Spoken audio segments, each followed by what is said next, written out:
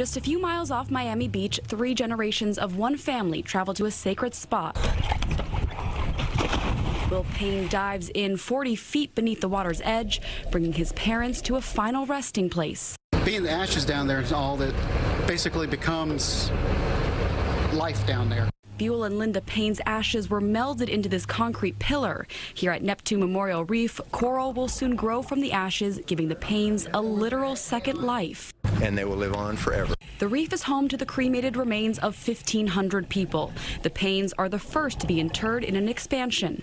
As reefs struggle with bleaching and other threats, the memorial's permit was granted to help encourage the ecosystem. The way coral grows is we have a layer of coral, it uh, absorbs limestone and it creates rock, and so it builds layer after layer. And this way, we've given the reef a head start.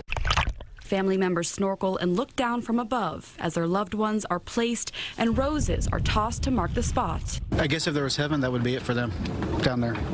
Definitely. We're hoping that we're going to build a big reef and that you won't be able to see where mom and dad were. You'll just know generations from now that they are part of that reef, that they are, you know, created it. A cemetery at sea, giving the deceased a new life, afterlife. Ali Bauman, CBS 2 News.